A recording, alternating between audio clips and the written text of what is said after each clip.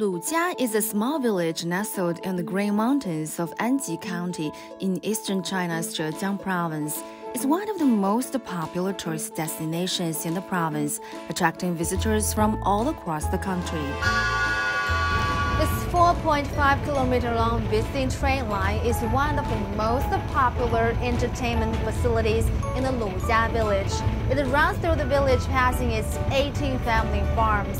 Taking this train, you don't miss any of the beautiful views here. Company plus village plus family farm is a core business model here, with investments to the tune of billions of yuan. And the businesses of many family farms often focus on agritourism. This family farm has been turned into a garden of white tea. Its owner Zhu Renyuan was the first to return to the village decades ago to launch his business. Now he's built a full industrial chain of tea businesses, with the value rising more than tenfold. 每年的产值只有呃一两百万的营业额，现在能做到几千万的营业额啊！现在我们鲁家的村民不需要到外面去打工了，只要在我们家里啊那个村里面就可以就业。在我这个地方呢，每个月的收入呢还有五千块钱的呃工资啊。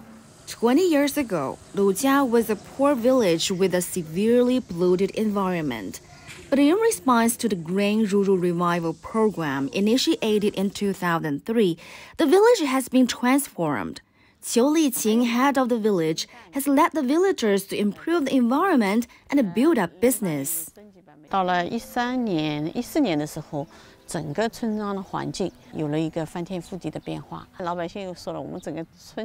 就像一个景区一样啊，就是开门就是花园，全镇皆是景区。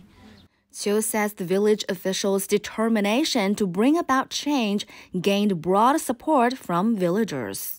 为什么呢？因为我们做的事情，现在村里面干的事情跟老百姓的利益是息息相关的。人来的越多，说明钱赚的越多，钱赚的越多，老百姓可以分红。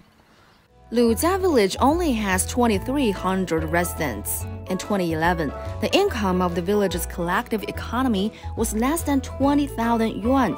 But by 2022, the number had reached more than 6 million yuan, with an annual income per capita of more than 50,000 yuan. Hu Chao, CGTN, Zhejiang Province.